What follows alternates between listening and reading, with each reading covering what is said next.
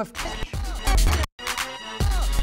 Prepare to see street magic as you've never seen it before. I used to be a proper criminal, yeah? Mugging, thieving, dealing. But now you see me dealing is cards.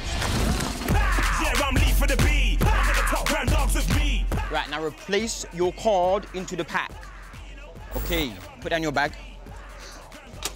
Right, now. Look at that! He's nicked my bag. My style of magic, yeah? It's like, whoa, what's that over there? Whoa, what's that over there? Whoa, where's my fucking wallet? Well, well. Yeah, you got some paper money on you, like a 10, 20, yeah? Yeah. Dash it into this envelope. Am I gonna get it back? Dash it into this envelope, there we go, right?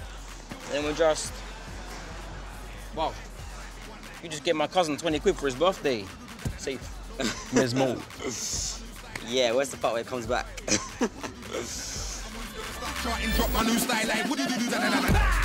David Blaine. Fucking bell end, mate. He's a dick.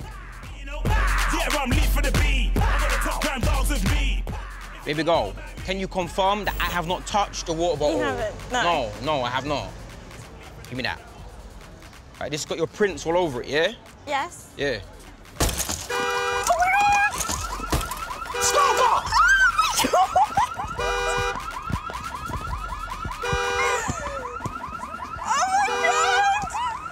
Mezmo, Street Magician.